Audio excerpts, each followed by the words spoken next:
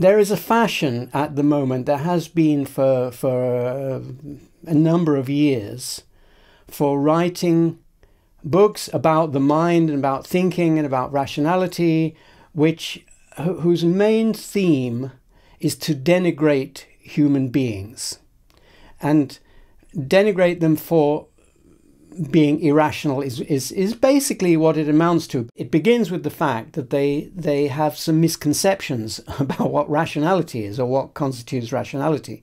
So there's Bayesianism uh, and the atheist movement and that kind of thing, which, which has a hold on something that is connected with rationality, but it's not the whole story and it misconstrues rationality. For example, by concentrating on explicit theories, explicit ideas, and ignoring inexplicit ones or denigrating inexplicit ones. As a result, they would be mistaken even if they had the right theory of rationality, namely Popper's, or augmented with my footnotes.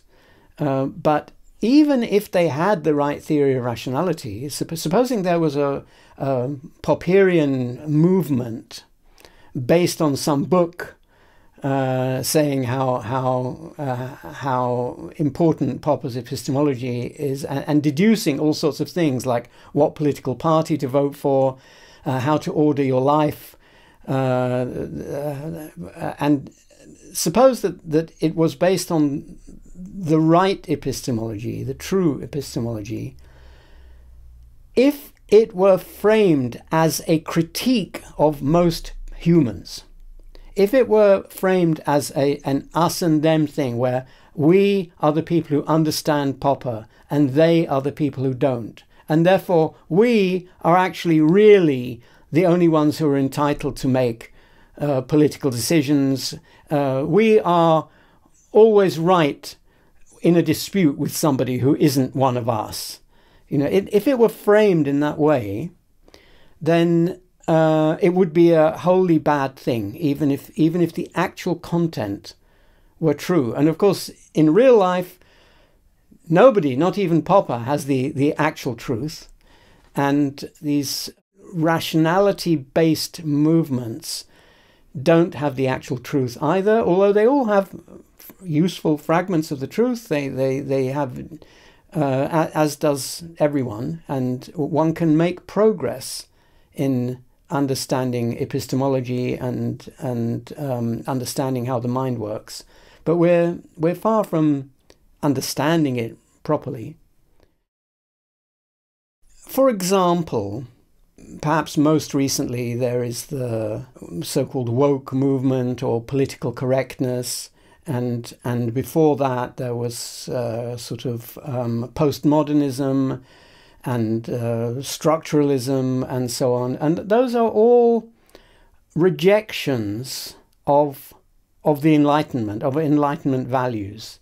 Uh, some people say that they are they are a reversion to earlier uh, ways of thinking with with authority and violence and so on. And and they, they do have a tendency to become authoritative and, and even violent. But I, I think they are not that. They, are, they, are, they don't want to revert to, let's say, an established religion, although they have in common that they and the established religion want to set up an authority. But, but they're unlike it in many other ways, in, in most other ways. What they are is, is a rebellion against what I have called the the British strand of the Enlightenment, although I, I am deeply ashamed that I didn't call this the Dutch strand of the Enlightenment, because that is how it began. What is the right theory of rationality? It's Popper's theory that knowledge grows by conjecture and criticism, that there are no uh, sources, authoritative sources of knowledge, that it remains conjectural um, always, this has implications for all sorts of things. It, it, for example, just to take a wild example that wasn't in my previous book, the idea that um, circumstantial evidence and direct evidence are different in kind is a mistake. All evidence is circumstantial. and people can be mistaken about what they remember, they can be mistaken about what they see. They, nobody can see causes anyway.